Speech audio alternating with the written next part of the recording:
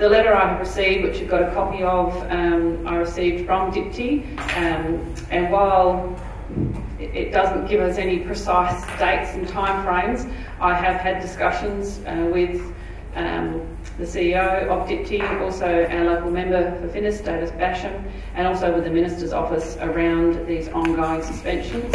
And I think Council needs to be prepared for um, uh, probably a length of time where the causeway will continue to um, be off limits to the horse tram due to the weight of it until those interim repairs are put in place. And we need to put provisions in place to how we manage that in terms of advising our community and working with our staff and also with the ongoing establishment of the Horse Tram Authority. We have the Minister is coming here tomorrow to meet with me directly to give us further advice about their attention that they are giving this. Um, and I have advised the media of that. I'm obviously not going to give them the time that he's coming, but he is giving it his full attention, but it is going to take some time to fix. So the, without that, uh, any further ado, I'm happy to take any questions, um, but the correspondence is to state that we will not know what those ongoing interim repairs will be until another 10 days, and then it will take some time for those repairs to be made. And these letters are confidential? No. I just want to pick up on something uh, written in um, page 9 where the um, is uh, looking for tender documentations for de design and development for options for a long-term solution and then the next line for 40 plus years. Subject to funding availability, design and delivery of a permanent solution could take up to two years. I just wonder if the council agrees with me whether we should try and explain to the minister that we would prefer to have a permanent solution first time round, but um, what the logistics of that are or you know, whatever, I'm not sure, but that's certainly my opinion. Spend a whole heap of money on a 40 year period and then spend a whole heap of money in two years on something else doesn't seem to make a lot of sense to me. Perhaps Victoria could answer that. I did seek clarification when I received this correspondence because I actually emailed back the CEO and I particularly questioned the letter that I felt didn't give me a lot of answers. So um, I read it in that they are either looking for a long-term solution for refurbishment, which would give the current causeway a 40-year life, or an alternative option. But um, I am happy to be guided by the council if the council wants to look for a permanent solution in a shorter period of time and resolves that way. I'm happy to advise the minister when I meet with him tomorrow. Um, the discussions have been is there are two options. It's either a refurbishment of the existing causeway or we build a new one. We need to show leadership as a council and ask for something that takes this community and, and our heritage and our facilities here into the next 100, 150 years in my mind and doing a fix up for 40 years isn't responsible. It's a, it's a waste of money. Um, I'll, I'd be uh, looking for pushing and, and taking the opportunity or, taking, or pressuring to have a completely replaced. Yeah, um, yeah. Brian's basically said what um, what have said. Absolutely, we need to, to move into the 21st century and um, get a uh, proper structure built. Um, in the meantime, um, the uh, operations of the horse-drawn tram and so on need to be kept going. So um, one of the costs of, um, of doing that is that the DPTI will have to uh, you know, do what they can to prop up the uh, causeway in the meantime. But I would definitely be pushing for the earliest possible permanent structure, as Brian says, that we can be proud of for the. Just a question uh, for Victoria. In regard to so they say the subject of funding availability, um, on with your discussions, was that just in relation to looking at a permanent solution, or was that something that they were leaning towards more doing that 40 plus years because there wasn't that funding available for a long-term permanent solution? My understanding is they're looking at funding availability for that long-term solution.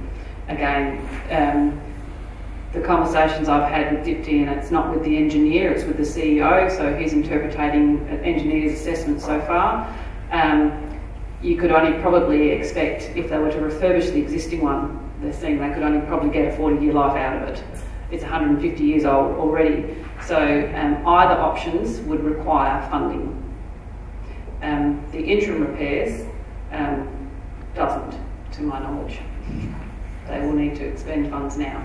You know, the favourite video shot of Victor Harbor that you see, whether it's a down under or it's on the Channel 7 Sunrise, or any other time for that, and probably on our own website, is the overhead shot of the island, the causeway, Victor Harbor, the pine, pine trees, bluff, and a speedboat flying along. And it's really liberating. You wouldn't know that the damn causeway was heritage or not, except for the fact that it's got some white rails across the top. It looks a bit like it could be a very, very narrow racetrack. It's beautiful, it's scenic, it's, it's picturesque. People want to perhaps come to Victor and check it out and walk across to that island. I can't see what's left of that causeway that is heritage. It's been repaired time and time again. It can be duplicated, it can be made to look heritage again. I think we're here, I believe we're, we're, here a week or two too early for this meeting. We're at least a day too early because the minister's coming down tomorrow and we would know more after the minister's meeting.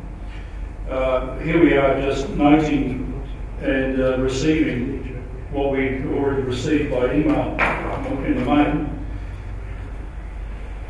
I want to see what they're proposing. You know, I, have seen, and we probably all have, the Brighton jetty, which is just a concrete structure.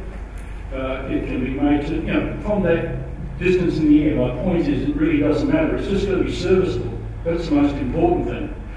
Will we have something beside what's already there? Will it take the same angle? Uh, will, it, will it go from a different point to a well, obviously we're going to relay the tracks, but I mean, will it this, will it that? We really don't have enough, I don't have enough information. I want to see some plans.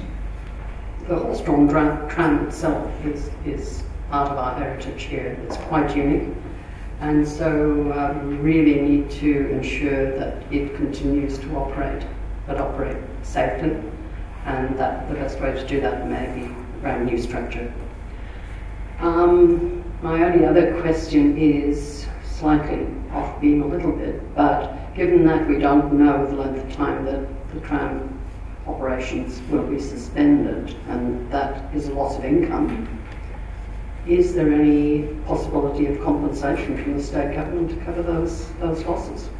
Within the first 12 months of the previous council, we were um, having discussions around the condition of the causeway and how it was looking pretty miserable and trying to draw the state government's attention to it. It would have been nice if the state government had come back to us with some of these ideas three years ago. Uh, just mainly a question, Mayor Jenkins, um, on the two and a half tonne uh, limit of, by vehicles. Uh, I understand that would be roughly a heavy four-wheel drive style of vehicle. Um, what's in place in provisions uh, to ensure that nothing bigger than a four-wheel drive around about two and a half tonnes, maybe a truck or a light truck going over to the island to collect uh, refuse, rubbish, whatever, or doing something. Because if they are concerned with the engineering reports that you can't have no more than two and a half tonnes, what, uh, what's in place to ensure that not exceeded? Um, yes, that's correct. So the, the boom gate has specific key access. Only those um, permitted vehicles um, have access. They have also all been directly notified of what they can and can't take over. We've also contacted FRAWA. They previously had a five tonne limit that has been reduced. Uh, so the motion is that the council advise the minister that their preference is for the replacement of the existing causeway as the longer term solution within the next 12 to 24 months. Those people in favour of that motion? That's unanimous. Thank you very much.